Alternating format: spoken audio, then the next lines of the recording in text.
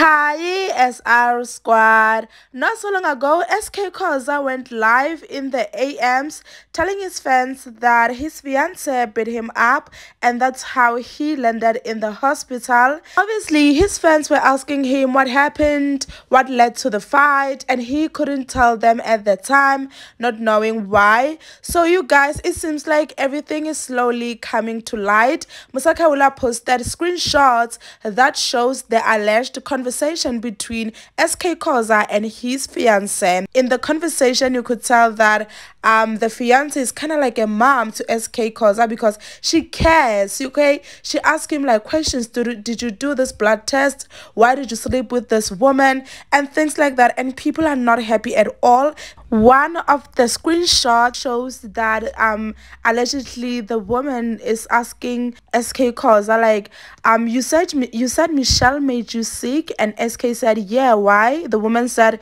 if you knew she was not faithful why then engage with her without protection and then put us at risk. SK Khoza was like, I did not know that though. And the woman was like, but you assume it's her, whereas you had different women, including prostitute, condom or not, matters or not, why certainly hair? Guys, it's definitely a lot. Like someone said, if you are a woman and you find yourself in a position where you have to mother a man, then that is not a relationship for you.